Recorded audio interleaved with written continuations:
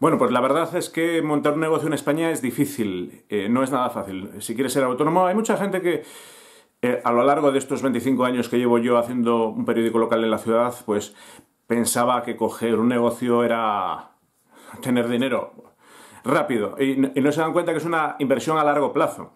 He visto gente que cogía pequeñas tiendas, negocios, bares, cafeterías y que han durado tres meses y se han cerrado. Eh, incluso es que eh, contrataban a alguien. Y dije, ¿cómo vas a contratar a alguien en un bar eh, pagándole 600 euros al mes? Ya estoy hablando hace, ahora ya son mil y pico, ¿no? Pero en aquel entonces eran 600 euros. Digo, ¿cómo vas a pagar 600 euros más 300 de, seguro? Mil euros si no lo sacas en cafés, no los vas a sacar.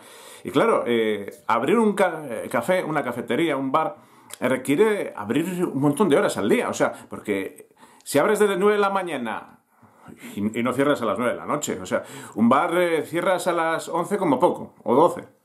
¿Cuántas horas son? ¿Cuánto personal necesitas? ¿Cuántos cafés necesitas vender para pagar ya tu sueldo? Bueno, no para pagar tu sueldo. ¿Cuántos cafés necesitas para pagar la seguridad social? O sea, los impuestos que te cobra el gobierno de España. Imagínate que estás tú y tu mujer solos, solos, en dos turnos. Uno hace mañana y otro tarde. Ya, ya son 600 euros eh, de impuestos, eh, sin, hablar de alquiler, sin hablar de luz, sin hablar de nada. Así que una de las primeras trabas que me encontré aquí al, montar mi propio negocio en España, eh, pues fue el gobierno. O sea, el gobierno, en vez de ponerme facilidades, bueno, ponerme a mí y, a, cualquiera de los jóvenes. Estoy hablando de que yo era un chaval con 24 años, una mano adelante, otra detrás, una familia humilde, eh, que apenas, pues esto, que mi padre estuvo en paro y, no tuvo sueldo durante un montón de tiempo y bueno, siempre habíamos sido pobres y yo no tenía capital ninguno. Y entonces en, el, en una habitación de mi casa, con unas cajas de cartón, habilité unas estanterías y con la impresora que, que compré, con la, la beca de la universidad para hacer trabajos y el ordenador aquel, pues creé mi propio periódico local, o sea, creé, fundé un periódico, un personal, uno, yo, pero no me pude contratar a mí mismo siquiera durante un montón de años porque no tenía dinero para pagar al gobierno de España lo que me cobraba el gobierno de España a mí por trabajar. No es que el gobierno de España nos diese una subvención, una ayuda a los jóvenes trabajadores, que yo nunca recibí ninguna ayuda ni subvención. Bueno, recibí un fondo ICO que pagaba lo mismo que me... O sea, o sea un préstamo sin intereses. Me prestaban el dinero y luego lo devolvía. Eso es la, única ayuda con Zapatero que recibí yo. Eh, y me lo tramitó el, banco. Pero claro, ya necesitas a alguien que te gestione, alguien que te. una asesoría o una gestoría que te haga todo el papeleo. Tienes que pagar ya una gestoría. Y te tienes que pagar a ti. Eh, la seguridad social, el seguro, eh, las, las de la educación en España no son gratis. las dicen que son gratis, pero las pagamos entre todos. En Estados Unidos tú pagas, si tienes dinero o quieres pagar, si quieres tener un seguro, contratas un seguro, eh, y, si no, no. Si te pones enfermo, pues tienes seguro, lo que te entre, y si, y si no te pones enfermo, pues suerte, ¿no? Pero en, España, aunque no te pongas enfermo, tienes que pagar seguridad social, el seguro de todos. Que por cierto, atiende a inmigrantes ilegales y a gente que no paga nunca el seguro, o sea, y, y pagamos las pensiones no contributivas, etc. Lo llaman solidaridad intergeneracional, etc. Yo, 24 años, y de repente mm, dije, ¿cómo mi mayor problema era hacer frente a las cuotas de la seguridad social si montaba una empresa.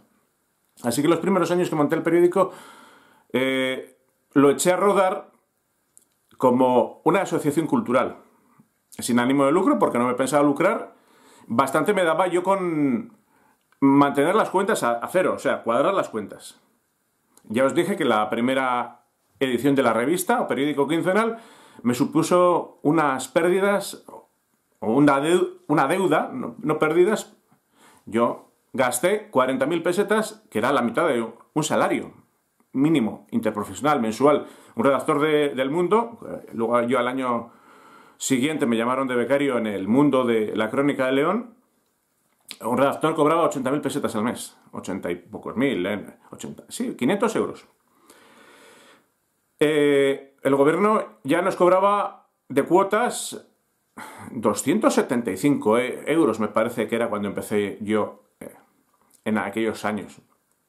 O sea, La mitad de un salario mínimo interprofesional la llevaba en gobierno en impuestos. Era mucho dinero. O sea, ¿cómo iba a ganar? ¿Cómo va a levantar el vuelo una empresa? No me extraña que 8 de cada 10 empresas o negocios que se montan en España se hundan y acaban quebrando. No sé si al de pocos meses, dicen que al, de 3 meses muchos cierran y que, bueno, que no llegan a 10 años, porque de hecho, eh, yo eh, luego tuve problemas. Tuve problemas por censura, porque publiqué una, un robo. O sea, publiqué la noticia de que habían entrado a una fábrica a robar. Eh, ya habéis visto que yo me lo monté muy bien. Hablé con una copistería, el negocio del siglo para la copistería, porque le hacía todos los periódicos. Le dejé la, primera deuda, pero el periódico empezó a venderse. Entonces, con lo que vendía, recuperaba el dinero y yo ganaba un poco, pero ganaba. Igual, porque claro, la comisión del kiosquero también por vender. O sea, todo el mundo ganaba, incluso más que yo, pero yo tenía que ganar dinero, porque yo era el que estaba trabajando y yo era el que tenía la idea. Eh, pues todo el mundo, en vez de estar, eh, muchos, en vez de estar agradecidos, no voy a decir todo el mundo, mucha gente, eh, pues. y me acuerdo que la copistería, que me hizo un gran trabajo, Copichip en la Bañeza, hacían claro, me hacían... Es que hicimos unos 500, 500 periódicos. Eh, tengo yo ahora que vendía 485 periódicos a la semana. O sea, se vendía como rosquillas. El periódico cuando lo saqué yo y eso que era de fotocopias. Pero claro, contaban noticias, actualidad, información, la maquetación, eh, la maquetación, el gran logro del periódico. Pero claro, este periódico lo, lo llevaba por fin un, periodista, que no quiero decir que... Por cierto, Rafa, el del adelanto al principio y ahora no sé si otra vez... Eh, ahora solo lo imprime, pero diseño gráfico sabe mogollón. O sea, estoy elogiando, ensalzando a un señor que tiene una imprenta que llevó el periódico local durante un montón de años, porque ese hombre sabe mucho de diseño gráfico mogollón. De hecho, me ha, diseñado mis portadas de libros, etcétera, ¿no? Eh, pero mi periódico se basaba pues en años de experiencia. Eh, yo había tenido pues una cultura, desde niño leía el periódico y me gustaba el, Correo Español Pueblo Vasco del Grupo Vocento, la maquetación, un montón de premios eh, internacional, AdWords, maquetación. Grupo Vocento es uno de los más reputados en España. Se me ve medio en penumbra, pero bueno, ¿qué le vamos a hacer? es primera hora de la mañana, luz pobre, no tengo foco. Y bueno, lo importante es lo que digo, no, no como se ve. Soy un tío feo y ya estoy viejo, 50 eh, años casi. Bueno, cuando veáis esto ya, ya los tendré cumplidos. Eh, y os estaba contando anécdotas. Anécdotas de, de cómo un pequeño joven emprendedor montó un periódico local de la nada sin ningún eh, eh, respaldo económico y sin ningún medio. Y me, decían, alquila una oficina en La Bañeza. Dije, si no tengo para... No tenía para pagar mi sueldo, porque yo, yo empecé los primeros años, cuando montas un negocio igual empiezas no cobrando. No sé si en todos los negocios, eh, algún youtuber, bueno, pero YouTube también, te lo digo por experiencia. Toda esta gente que piensa que haces TikTok y te vas a hacer famoso y vas a tener millones, eh, las primeras 4.000 horas de visualización y hasta que llegues a 1.000 suscriptores, todos esos vídeos y todas esas horas de trabajo son gratis. Que ahora la gente dile que trabaje gratis. Yo todo lo que hice durante de los 16, eh, 17 años hasta los 24 de colaborando con medios de comunicación, periódicos locales y provinciales, eh, pues nunca nadie me pagó nada por ello. Y de hecho gastaba yo el, sobre, el sello, la, el papel, la carta, la tinta, el toner. Eh, bueno, en aquel entonces no había toner de impresora. Luego empecé con la impresora que traje, pero al principio era máquina de escribir Olivetti. el teléfono, o sea, hacer llamadas costaba y, yo no tenía saldo, que siempre me, me, sorprendía. Y una vez que yo daba limosna a los pobres, yo era buena persona, de corazón. Iba por allí, por la calle, y de repente te encontrabas un mendigo pidiendo a una esquina y entraba yo a un kiosco y le compraba una barra de pan. Hasta que un día me encontré que a ese eh, mendigo que le daba yo una barra de pan, sacaba un móvil mejor que el mío y, llamaba. Y, digo, coño, yo no tengo saldo porque yo no tenía saldo, no tenía para pagar un saldo, nunca tuve contrato. porque no tenía para gastar, pues no, no, tenía para llegar a fin de mes. y hacía recargas de estas de 5 euros que te duraban un año y hasta que luego lo, bajaron a, 6 meses y tenías que recargar cada 6 meses. Pero yo no llamaba a, nadie con el teléfono móvil que tenía, que era una patata, por cierto. O sea, eh, para que veáis que montar un negocio, ser autónomo no es nada fácil en, que para mí fue muy complicado. Hay otros que si eres amigo de un partido político, tienes a alguien que te abra las puertas, te da no sé qué y te tienes un respaldo económico. Pero yo no, no tuve el respaldo económico de nadie y además como soy Asperger no, sabía ni a dónde ir, ni a qué puertas llamar, ni quién me solicitara, etc. Y como os decía, estuve varios años trabajando a cero. A cero euros, o sea, no cobraba nada por mi trabajo. Yo estuve trabajando, invirtiendo horas y horas de trabajo en intentar eh, crear un periódico local, bueno, ya lo había creado, y intentar levantarlo. Iba de puerta en puerta pidiendo publicidad, pidiendo suscripciones eh, y tuve la suerte que tuve una repercusión y una aceptación muy grande y entonces empezó a prosperar y también las fechas de salir una semana antes de las fiestas locales en las que se anunció casi todo el mundo en, la ciudad, todos los negocios, pues eh, me dieron un colchón económico para poder echar adelante. Y ya, bueno, tiempo después compré un escáner para poder escanear yo las fotografías, compré una cámara de fotos eh, y, llegué a comprar una cámara de fotos ya cuando salieron las primeras digitales y, ya podía, pero al principio os, dije, todas tenías que escanearlas en papel, ir a una tienda de fotografía, eh, eh, o sea, revelarlas en papel, luego escanearlas y hacer un, o sea, con muy rudimentarios medios creé un periódico local de la nada. Bueno, me acuerdo yo una de Diputación que ella estaba enchufada allí, no, no sé si se llamaba Victoria o como, que la hizo una entrevista para el periódico local. Claro, yo, ella, es muy fácil ser funcionario, te colocan y tienes sueldo y ya está, pero tú eres, eres emprendedor y tienes que pagar impuestos. Y yo lo que quería con el periódico no era ganar dinero, era por lo menos no hundirme y tener por lo menos, aunque no tuviera sueldo, por lo menos no ir aumentando la deuda, que esto es lo que pasa con muchos negocios, que aumentas la deuda que tienes.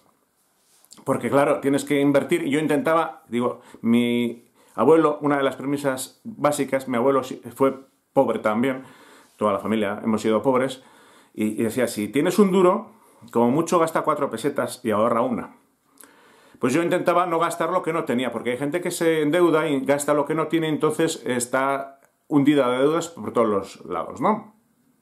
Eh, yo, a mí el negocio me ha ido bien por esto, por esta premisa, por esta máxima.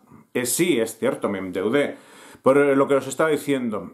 Tiempo después de dar negocio a esta copistería, que tenía imprenta también, por publicar la noticia de un robo a una fábrica, la fábrica esa llamó a la, a la imprenta, copistería que me hacía a mí el periódico, y parece ser que les amenazó con que si, publicaban la, si publicaba yo en el periódico la foto de la fachada de la fábrica a, las a la que habían robado, una noticia oficial de subdelegación de gobierno, eh, que igual eh, le amenazaron así sucintamente que le dejaban de contratar por los albaranes, los tacos de facturación, las etiquetas de los productos que allí envasaban, etc. Entonces me vi con la primera vez la censura, o sea, en España, en 1999, años 2000, etc. Fíjate, ya Franco había muerto hace 40 años y estamos en una presunta democracia. No sé si gobernaban los socialistas en aquel entonces, eh, o sea, Partido Socialista. Y dices, wow, anticensura. Pues no, no. Me llamaron, bueno, le llamaron al de la imprenta y le debieron decir que como publicase la noticia de una, una, noticia que me había mandado por fax su delegación de gobierno, o sea, filtrada a más no poder. No es como cuando Franco que tú escribías y la noticia pasaba a la censura y te censuraban, no, no, aquella censura previa. Eh, la delegación de gobierno, la Guardia Civil, me había mandado la noticia redactada y yo la publiqué tal cual la había publicado la Guardia Civil. Y llamaron todavía de la fábrica diciendo que como publicásemos la foto de la fachada para que se identificase la fábrica en la que habían entrado a robar, porque decían que si... Oh, que, se sabía dónde robaban, que dabas a entender a los ladrones, como que los ladrones estuvieran leyendo periódicos, mentalidad de aquella gente, que era fácil entrar a robar a esa fábrica, entonces no querían eh, los sitios donde que habían sido víctimas de un robo que se supiera que les habían robado para no dar pistas y facilidades a los ladrones que leían los periódicos, que, dabas a entender que, les habían entrado a robar que era fácil entrar a robar. No sé, estupideces. Bueno, pues tuve que...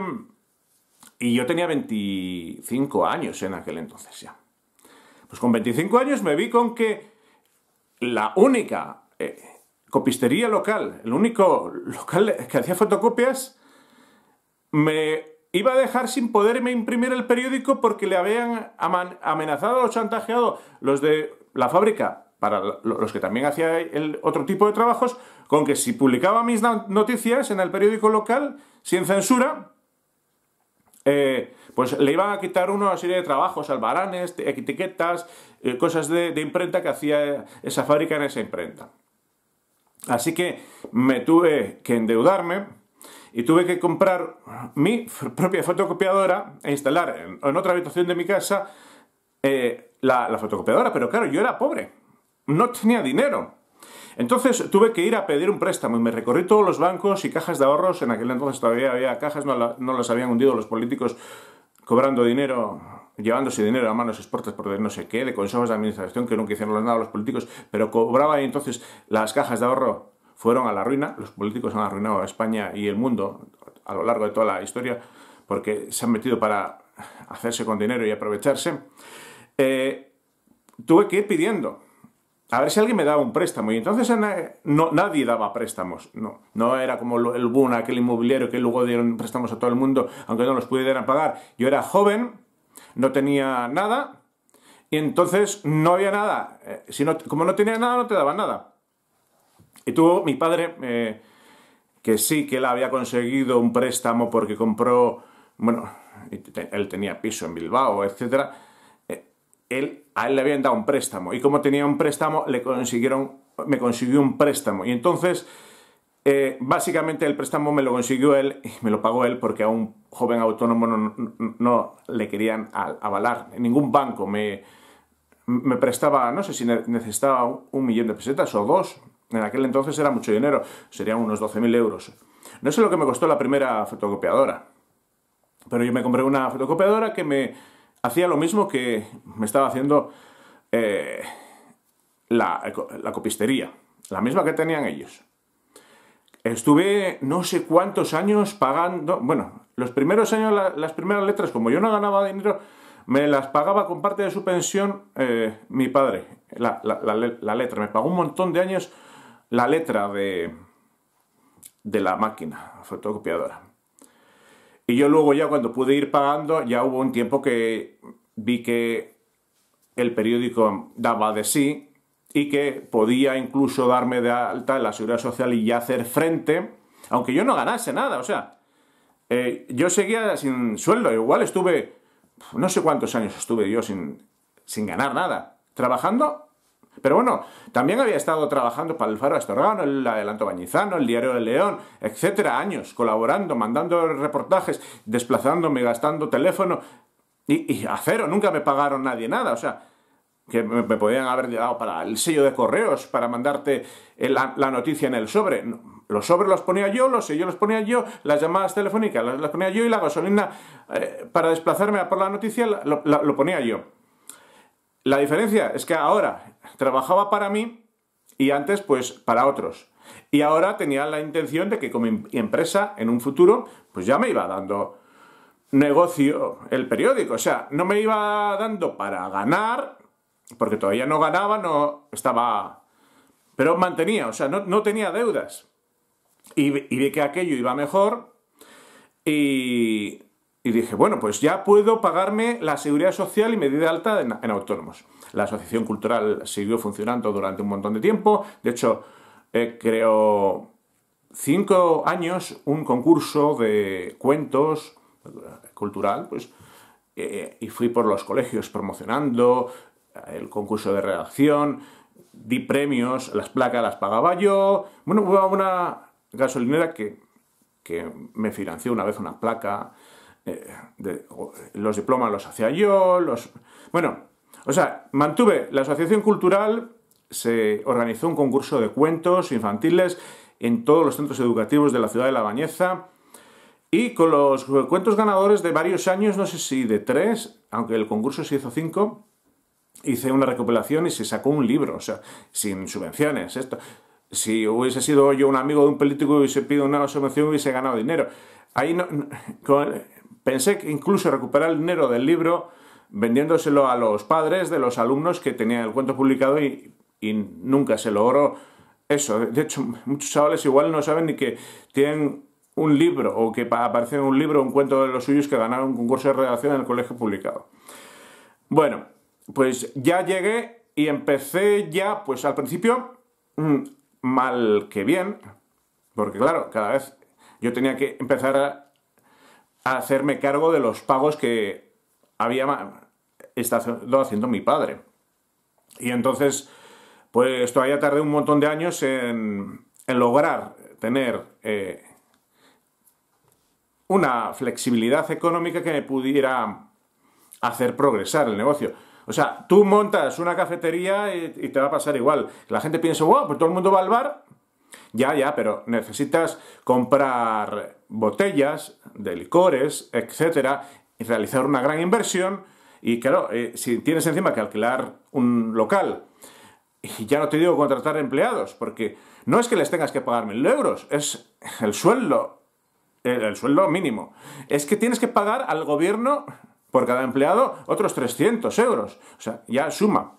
Si tienes... Si estás tú y tu mujer, aunque no ganes nada, en el bar, 600 euros a fin de mes. Para, para pagar las cuotas de la seguridad social. Eso para empezar. Tú pagas luz, paga agua, paga impuestos municipales, licencia de apertura, eh, paga todo. Ah, o paga alquiler. Entonces, ¿cuántos miles de euros necesitas ingresar en cafés? ¿Y cuánto te queda por cada café para pagar ya... Eh, o sea, para no ganar nada. Para cero. Por eso la gente dice, oye, es que esto montar el negocio... Yo he estado trabajando, y sí, de hecho sigo trabajando.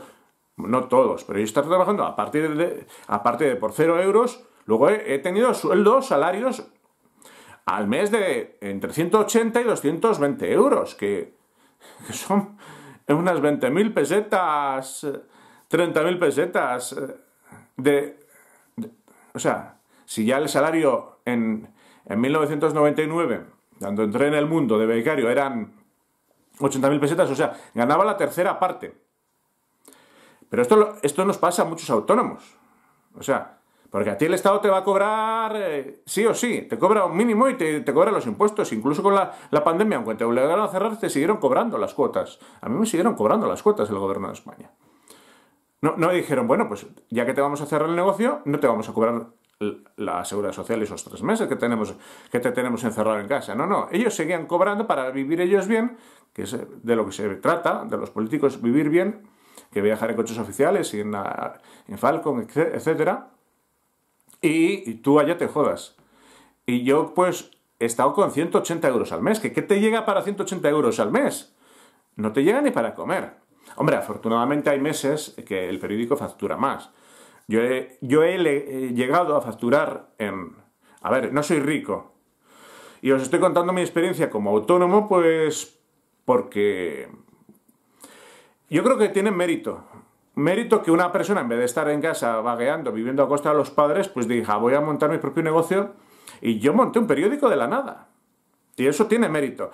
Que si es triunfar, eh, ganar 180 eh, euros al mes o 220, depende cómo se mire. O sea, yo soy mi jefe, que 100, 100 euros no me llega, pero yo no salgo, o sea, nunca. Hubo un tiempo que iba al bar y todavía tuve problemas con el sobrino del bar que me llamó, iba diciendo que yo era violador de niños, sin comentarios. Entonces dejé de ir al bar.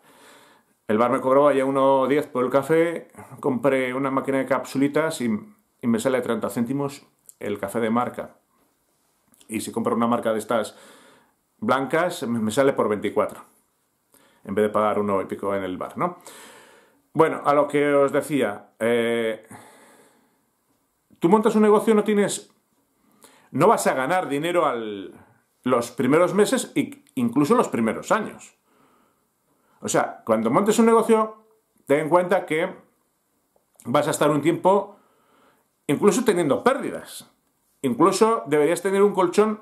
Yo tuve, luego que, eh, claro, eh, a raíz de aquello tuve que, comprar la máquina, luego me compré un escáner, el escáner sí que lo pude pagar, porque valía mucho menos, entonces ya tenía pues para 30.000 pesetas o así, cosas, ya eh, tenía dinero. pude comprar cosas, pero claro, una cosa así, un negocio necesita mucha inversión y hasta que amortices esa inversión pueden pasar muchos años. Yo, he tenido eh, una máquina y ya cuando la amorticé casi tuve que cambiar por otra nueva. entonces casi no, no, le saqué beneficio o rédito porque una vez que acabé de pagarla no sé cuánto tiempo estuve hasta que se estropeó. Pasa con todos los electrodomésticos, obsolescencia programada, cuando dices, ya esto me renta, compras una cafetería para el bar, te vale no sé cuánto y cuando la acabas de pagar ya tienes una avería y tienes que gastarte dinero en que te la reparen. O comprar una nueva, que a veces se rompen ahora cosas y tienes que comprar otra nueva. O sea, esto es complicado. Y nada, pues os estaba contando pues mi historia. Eh, de... Pero bueno, yo estoy orgulloso. Hombre, que os estaba diciendo que sí, que eh, he llegado a cobrar 3.000 euros en una semana. O sea, el, periódico de fiestas hubo unos años muy buenos que tenía un montón de publicidad, que se anunciaban todos los negocios. Luego otros años, pues he tenido igual mil y pico euros de ingresos esa semana. ¿Qué se trata? Pues de, guardar el dinero. O sea, yo trato de compensar. Si una semana ingreso 1.500 euros eh, y otra 180, o, otro mes 180, intento ahorrar cuando tengo más, que normalmente son las fiestas, Navidad, eh, carnavales, que aquí se estila mucho, o las fiestas de verano, esos tres, también Semana Santa, cuatro periódicos al año, dan un superávit, bueno, a mí me da un superávit de dinero, pero también a los negocios de la ciudad. O sea, tú alquilas un bar en la bañeza, igual te puedes pasar eh, seis meses mirando al techo. Que sí que tienes clientes, pero igual la clientela que tienes fija todos los días te llega pues, para pagar la luz. Igual hay meses que, con todo lo que haces de caja te llega para pagar los impuestos. Incluso hay veces que, te sale a perder. O sea, tú estás trabajando durante meses, meses, lo del Black Friday, para que no lo entienda, va por esto. Que estás... Hay, muchos negocios en, en Estados Unidos de América que están 11 meses trabajando perdiendo dinero. Bueno, no perdiendo dinero. En realidad sí, porque haces el, balance del año y estás hasta el mes 11, hasta noviembre, has trabajado todos 11 meses para pagar a, pues, la luz, eh, los impuestos municipales, el alquiler, a los proveedores y los salarios. Y entonces ya llega un, un mes o mes y medio que dices, ah, pues mira, ya una vez que he pagado todo lo de todo el año, Ahora esto me rinde y tengo dinero. Pues lo mismo me ocurre a mí, o sea, yo y a muchos negocios de la ciudad. Estás todo el año, pues eh, lo comido por lo servido, dicen en España, y luego llega un mes que tienes dinero que ingresas.